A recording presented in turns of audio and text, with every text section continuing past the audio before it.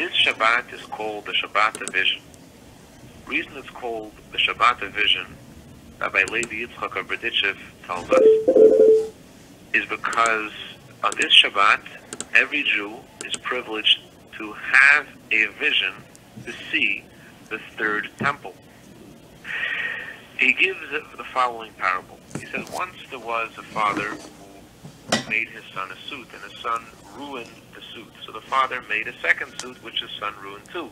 So finally, the father made a third suit, but instead of giving his son that suit, he put it away, and he showed his son that suit on occasion, so his son would want it and act in a way that he would, would be deserving of getting that suit. So too, God gave us the first and second temple, which was ruined by our sins.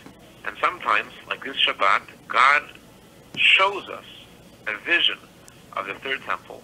And this vision is so powerful and so inspiring that it allows us to live on the level of Mashiach, to live as if Mashiach is already here.